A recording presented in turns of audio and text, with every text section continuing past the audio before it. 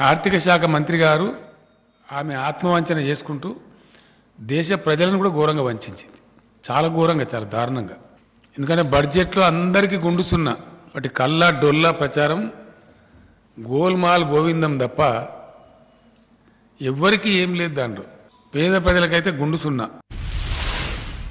ముప్పై ఎనిమిది నలభై కోట్లుండే ఎస్సీ ఎస్టీల కలిపి వాళ్ళ సంక్షేమానికి భారత ప్రభుత్వం పెట్టిన బడ్జెట్ పన్నెండు వేల ఎనిమిది వందల కోట్లు. ఇంతకన్నా సిగ్గుసరం ఇంకోటి ఉండదు ఇక. దళితులు గిరిజన సంక్షేమం పట్ల ఈ కేంద్ర ప్రభుత్వానికి ఎంత చిత్తశుద్ధి ఉంది? ఇంతకన్నా దౌర్భాగ్యం ఇంకోటి ఉండదు. తెలంగాణలో ప్రస్తుతం మన ఎస్సీ ఎస్టీ సప్లాన్ ఒక చిన్న రాష్ట్రం మనం. ఒక మన రాష్ట్రంలో ఎస్సీ ఎస్టీ సప్లాన్ అంటే మనకి దళిత బంధు వేరే ఇంకా చాలా ఉంటాయి వేరే. అవి కాకుండా ముప్పై మూడు వేల ఆరు వందల పదకొండు కోట్లు.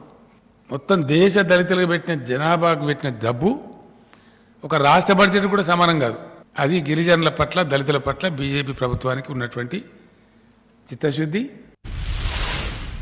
నదుల అనుసంధానం. It's big joke joke of the millennium Godavari Krishna అనుసంధానం. ఏమి బొందా చేస్తా? ఎట్లా చేస్తావా నాకు అర్థం కాదు. గోదావరి మీద ట్రిబ్యునల్ తీర్పు ఉంది. ఆ తీర్పు ప్రకారంగా ఇక్కడ ఎంటర్ అయిన గోదావరిలో వచ్చే ప్రతి డ్రాప్ మీద అధికారం తెలుగు రాష్ట్రాలకే ఉంటుందని ట్రిబ్యునల్ తీర్పు ఉంది గోదావరి బచావో ట్రిబ్యునల్ తీర్పు. వాటర్ ట్రిబ్యునల్ తీర్పు అంటే సుప్రీంకోర్టు జడ్జిమెంట్కు సమానం. దాన్ని ఉల్లంఘించడానికి అధికారం ఎవరికి లేదు. నువ్వు కొంచెం కావేరి నదిలో ఎట్లా కలుపుతావు? ఇది జోక్ కాదా? ఇది సెన్స్లెస్ కాదా? తెలివి తక్కువ కాదా? భారతీయ జనతా పార్టీ పరిపాలన అంటే దేశాన్ని అమ్ముడు మత పిచ్చి లేపుడు దాంతో రాజకీయ పబ్బం గడుపుకునుడు మంది మీద పడి ఏడుచుడు. భారతీయ జనతా పార్టీ ఇది కొట్టుకు ఇది కనబడుతుంది. ఇప్పుడు ప్రజలకు మత పిచ్చి లేవాలి తద్వారా నాలుగు ఓట్లు కొల్లగొట్టుకోవాలి.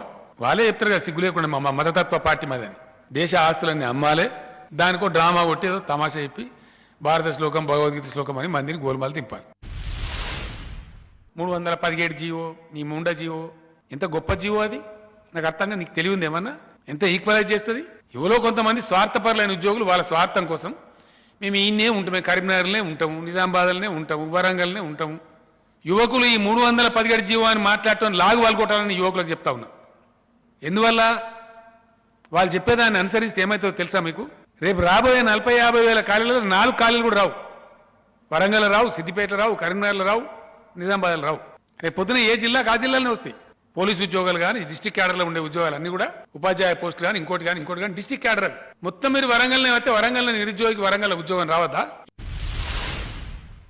ఈ భారత సమాజం అనుకున్నది అనుకున్నట్టు పురోగమించాలంటే ఈ దరిద్రం కొట్టు పార్టీని కూకటి వేలతో పీకి బెంగాల్ ఖాతాలో పారేయాలి. చేస్తాం తప్పకుండా పని చేస్తాం. వంద శాతం చేస్తాం. బాగా పొగరు కూడా నెత్తికెక్కింది వీళ్ళకు. ఎవరి మీద పడితే వాళ్ళ మీద. ఎటు పడితే మాట్లాడు కన్ను నెత్తికొచ్చి బాగా అడవులు జమాబందీ చేస్తున్నారు. తప్పకుండా కూగడు వేలతో పెకిలించి పారేస్తాం. ఎస్ ఏం అవసరమో దేశంలో చేస్తాం.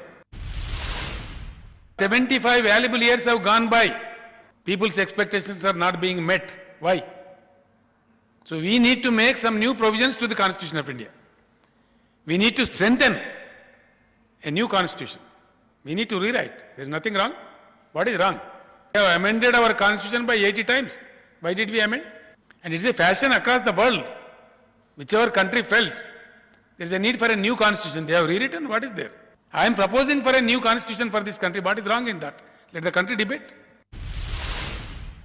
అరే నేను చెప్పినా ఫెడరల్ ఫ్రంట్ అని ఎక్కడ నేను ఎక్కడ చెప్పలేదు అఫిషియల్గా మీకు మీరే రాసుకున్న రోటి అరే మళ్ళీ అట్లా అంటే అరే నీకు అర్థమైతలేదా చెప్పేది నువ్వు తొందరపడక ఆగం కాదు టీఆర్ఎస్ పార్టీ స్థాపించే ముందు కూడా ఇరవై ఏడు సార్లు తెలంగాణ ఎమ్మెల్యేల మీటింగ్ పెట్టిన నీకు తెలుసా? తెలంగాణలో ఉండే అనేక మంది తెలంగాణ వాదులతో కూడా వందల సార్లు కూర్చొని మాట్లాడినాం ఫైనల్గా ఒక సందర్భం సమయం వచ్చినప్పుడు ఎస్ తప్పదనుకున్నప్పుడు టీఆర్ఎస్ అనే పార్టీ రూపంలో ఉద్యమాన్ని తీసుకొని పురోగమించారు. కొంతమంది బేవకూఫ్గాలు అదే పనిగా చెప్తున్నారు. ఏమక్కర్నదండి నాకు అర్థం కాదు ముందస్తు ఎన్నికలకు. అద్భుతమైనటువంటి రాజకీయ సుస్థిరతతోని నూట మూడు ఎమ్మెల్యేల మెజార్టీతోని టీఆర్ఎస్ ఉంది. ఏం మాకు మా మాకు పిచ్చుకోక గరిచిన అది ఇప్పుడు కుక్క నా కొడుకు ఆ సోషల్ మీడియాలో పెట్టి దరిద్రపు ఉండవు ఏందది నాకు అర్థం కాదు. ఎవడో పిచ్చి ఏదో బాగాలుగాడు చెప్తాడు. వాడు మాట్లాడుతున్నాడు హౌలగాడు అన్నాడు. గాలి ఇవ్వలే నాకు అర్థం కాదు వాళ్ళకి బలా గింతంత మంటలు పట్టుకుని మీరు. వాళ్ళు ఎవడో కుక్కగాడు చెప్తే ముందస్తే ఎన్నికలు పెడతాం మేము. ఎందుకు పెడతాం నాకు అర్థం కాదు? ఇండియాలో ఎక్కడ లేని సంక్షేమ కార్యక్రమాలు? వాస్తవం కాదా? మీకు జీర్ణం కాదా? మీకు ఉన్నదా మీ తెలివి ఉందా మీ ప్రధానమంత్రికో మీకో? మీరు పరిపాలించే రాష్ట్రాల ముఖ్యమంత్రులకు ఉన్నదా? తెలంగాణలో అమలు చేసే దళిత బంధు నిజం కాదా? నిజాన్ని అంగీకరించే సంస్కారం లేదా మీకు? దాన్ని కూడా తిరిగి తిరిగి మాటలు మొర్రి మొర్రి మాటలు మాట్లాడుకుంటా హౌలా పోసిగా లెక్క మాట్లాడుకుంటా. వాస్తవం కాదా దళిత బంధు? మీ ముండమోకాలకు మీ బీజేపీ పాలిత రాష్ట్రంలో ఎక్కడైనా ఉందా? మీ కేంద్ర ప్రభుత్వంలో ఎక్కడైనా పైసా పెట్టిందా దళితులకు? అది లేదు వాటికనే వృతం వాళ్ళంగా సోషల్ మీడియాలో అన్ని అబద్ధాలు ప్రచారం చేస్తాం ఇదా? Dalit Bandhu is not mere programme Dalit Bandhu is a spirit Hyderabad international arbitration centre వస్తే మా మోడీ గారికి నిద్ర పడతలేదు. ఆయన దేశానికి కాదు ప్రధానమంత్రి గుజరాత్కే ప్రధానమంత్రి. సిగ్గుతో చెప్తున్నా నేను ఈ మాట. బాధతో చెప్తున్నా. చాలా బాధతో చెప్తాను మనసు గాలి. దీనికి ఒక శిఖండిని పెడతామని ఇలా బడ్జెట్ ప్రకటించారు దీనికి పోటీకి ఒక శిఖండిని. డైరెక్ట్ గుజరాత్ అంటే బయట పడితే సిగ్గు వద్దని చెప్పి దాని పేరు గిఫ్ట్ సిటీలో పెట్టి గిఫ్ట్ సిటీ అట.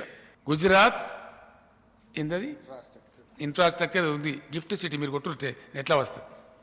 అది అహ్మదాబాద్లో ఉంది నిర్మలా సీతారామన్ గారు నేను అడుగుతున్నాను నువ్వు హైదరాబాద్లో నువ్వు కూడా ఇన్నే బతికినవు గడ నీళ్ళు తాగినవు తెలుగువారి కోడలు అంటావు.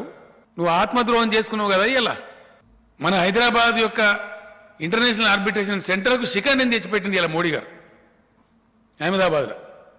ధర్మం గురించి చెప్తూ ఇంత అధర్మమా? పాపం ఆయన జిఆర్ స్వామి గారు అని ఇక్కడ హైదరాబాద్లో ఒకటి రామానుజుల వారి విగ్రహం పెట్టి. ఆయన పాపం దాన్ని తమిళనాడులో పెడతాను అనుకున్నాడు యాక్చువల్లీ హైట్ కావాలంటే ఆ కొండ కావాలని చెప్పి తిరిగిండు అక్కడ. ఆ కొండ దొరకలే ఆయన ఇక్కడ.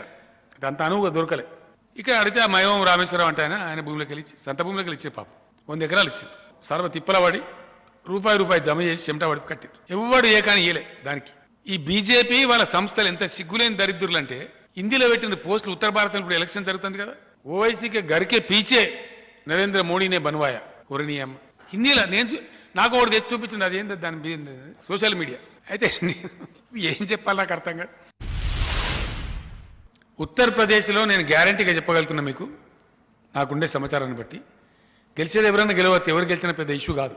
డెఫినెట్గా బీజేపీ స్థానాలు మాత్రం తగ్గుతాయి. గతంలో బీజేపీకి ఉన్నటువంటి ఆదరణ తప్పకుండా తగ్గుతున్నది. అది ఇరవై నాలుగులో బీజేపీ పతనానికి పునాది. గ్యారంటీ క్రిప్టో కరెన్సీ మీద ముప్పై శాతం పన్ను వసూలు చేస్తాం. తలా తోక ఉందేమన్నా మైండ్ ఉందా అసలు? కేంద్ర ప్రభుత్వానికి? క్రిప్టో కరెన్సీ మీరు ఒప్పుకున్నారా? అఫీషియల్ అయ్యి దేశంలో? What is your answer Shrimati Nirmala Sitharaman garu. I'm asking the honourable prime minister what is the answer are you accepting cryptocurrency in this country is it official make it clear otherwise బుర్ర లేకుండా ఎట్లా చెప్పినా ఇవాళ ముప్పై percent tax వసూలు చేస్తాను? ఏ పద్ధతిలో ఇప్పుడు దాని ప్రాతిపదిక ఏంది అసలు? It should be made clear that whether government of India is accepting the cryptocurrency in the country what nonsense it is ఇరవై నాలుగు గంటలు అద్భుతమైన నాణ్యమైన కవర్ కరెంట్ ఇచ్చే రాష్ట్రం ఇండియాలో ఇంకోటి ఉందా? తెలంగాణ తప్ప? ఏ రాష్ట్రం నుంచి మనం విడిపడ్డామో ఆంధ్రప్రదేశ్ అక్కడ ఇచ్చి ఇస్తున్నారు అయ్యాల ఇరవై నాలుగు గంటల కరెంట్ ఇయరే అదే ఆంధ్ర వాళ్ళు మనల్ని ఎకిల్ చేసిండ్రే ఆ రోజు. ఇలా వాళ్ళ పరిక్యాప్ట్ అయింది మన పరిక్యాప్ట్ అయింది. కనబడతలేదా? కళ్ళకి ఇవన్నీ చూసుకుంటూ. ఇస్ దేశమే जो स्थापित विद्युत शक्ति है, स्थापित विद्युत, जिसको अंग्रेज़ में इंस्टॉल्ड कैपेसिटी कहते हैं, चार लाख एक हज़ार मेगावाट के ऊपर करंट की उपलब्धि है। कितना यूज़ करता है देश? किसी भी समय दो लाख मेगावाट से ज़्यादा यूज़ नहीं करते। जो करंट उपलब्ध है, उसको देने का क्षमता भी हमारे केंद्र सरकार के पास नहीं है। क्या यह बात सच नहीं है? एक ही मिनट में कोई झूठ करके अगर साबित किया एक मिनट में मैं अपने मुख्यमंत्री पद को इस्तीफा दे दूँगा। मैं दिल जल के ये बात कह रहा हूँ।